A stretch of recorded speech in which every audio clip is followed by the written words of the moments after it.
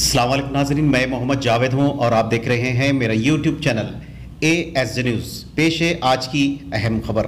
नाजरीन, सफिया माही ने लावारिस 25 साल मल्लेश की नाश को हिंदू रस्म व रिवाज के मुताबिक आखिरी रसूमात अंजाम दी।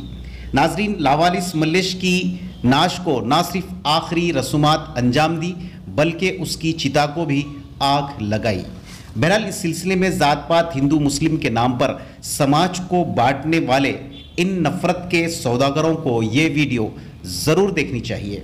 बहरहाल, हिंदुस्तान की गंगा जमुना तहजीब की ये एक मुँह बोलती तस्वीर भी है और वीडियो भी है। बहरहाल, नाजरीन, इस सिलसिले में तफसीलात के मुताबिक टीबी हॉस्पिटल वाक़ एरा गड्ढे में, जो एक शख्स जिसका नाम मलेश बताया गया है, जिसकी उम्र 25 साल बताई गई जेर इलाज था। नाजरीन 25 साल मल्लिश इलाज के दौरान फौत हो गया। लेकिन उसके कोई लवाकिन या मुतलकिन या रिश्तेदार या ख़ानदान नहीं था और उसका सिर्फ़ एक दोस्त था। उसके दोस्त ने आखिरी मजबूरी की हालत में नारी निकेतन एसोसिएशन की सदर सफ़िया माही से फ़ोन के ज़रिए इस बात की इतला दी। मल्लेश की जो है नाश को पंजागुट्टा पहुंचकर सफ़िया माही ने ना सिर्फ़ ये कि वहाँ से बरामद किया और वहाँ से सीधे पंजागुट्टा शमशान घाट पहुँचाया और तमाम तर आखिरी जो रसूमात है, हिंदू रस्म और रिवाज के मुताबिक उसको अंजाम दी। सफ़िया माही के इस काम की हम सल्यूट करते हैं उनके सर्विसेज़ को। सफ़िया माही एक नारी निकेतन एसोसिएशन के नाम से एक जो है, एनजीओ चलाती है। एनजीओ चलाने के बाद और बिलखसूस ये हैदराबाद की दुख्तर, हैदराबाद की बेटी, ना सिर्फ़ ये कि जो है ना कई एक लोगों के जो भी उसको फ़ोन करते हैं, उससे रबता करते हैं, ऐसे लावारिस, गरीब, मुफलिस, ऐसे अफराद की मदद के लिए वो पहुँचती है।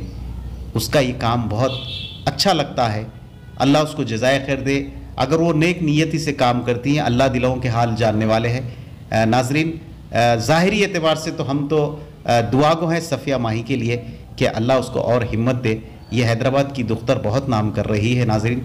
इसके लिए आप दुआ भी कर सकते हैं और इसके काम की सराहना भी कर सकते हैं, तारीफ़ भी कर सकते हैं, एक कॉल के ज़रिए या एक कमेंट के ज़रिए।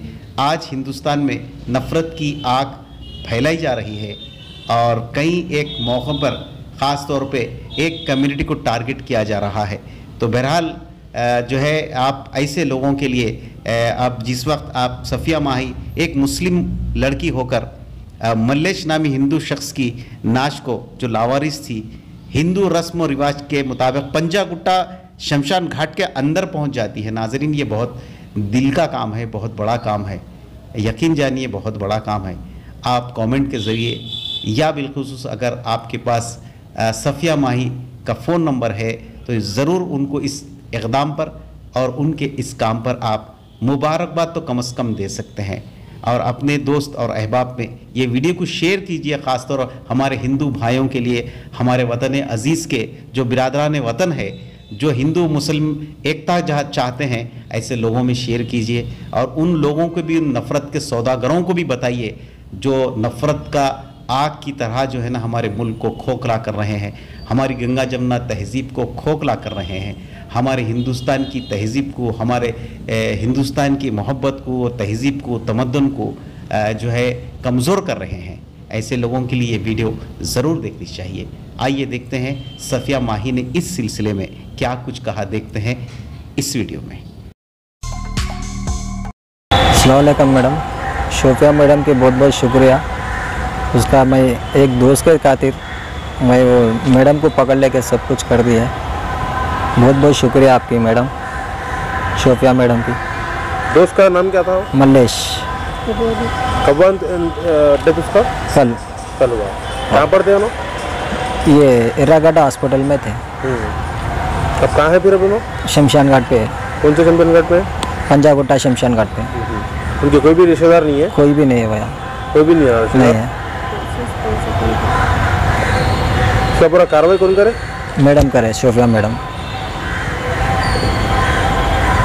मैं social worker Safiya Mahi NGO Nari Niketan association president आज हम लोग को सुबह दो बजे के टाइम पे टीबी हॉस्पिटल से फ़ोन आया कैसा एक बंदा? टीबी होके मर गया, जिसकी उम्र शायद 25 या 26 साल है। हम लोग को फ़ोन आने के बाद हम, हमारी टीम में जैसे हैदर, सोशल वर्कर हैदर मेमन भी हमारे साथ थे, हमारी टीम मिल के टीबी हॉस्पिटल को जाके वहाँ से जो भी उनके प्रोसेस है, ख़त्म करके शमशान में जो भी प्रोसेस है, ख़त्म करें। और ये बंदे को जो भी पहचानते उनके उनके कुछ भी रिलेशंस है तो वो लोग हमसे रबता कर सकते हमारा नंबर है eight zero nine six four five zero three four three.